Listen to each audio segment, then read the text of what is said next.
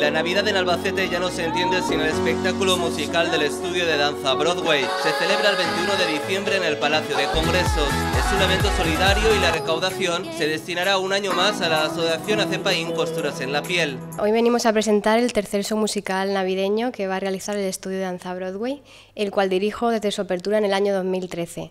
Desde ese año he organizado cinco festivales y cuatro musicales y dos musicales perdón, navideños, todos ellos siempre a beneficio de Acepaín, eh, con cuyas integrantes he tenido siempre una relación muy estrecha, especialmente con Joaquín, a la que aprovecho el momento de darle las gracias por todo el apoyo y la ayuda mostrada todos estos años. Acepaín destinará el dinero a la unidad de investigación de cáncer, especialmente para pararle los pies al cáncer de mama triple negativo. La asociación ya ha entregado 145.000 euros, con los que se han contratado a dos investigadores y en enero se ampliará la plantilla con un tercero. Si es verdad que la Administración es quien tiene que hacerse cargo de la investigación.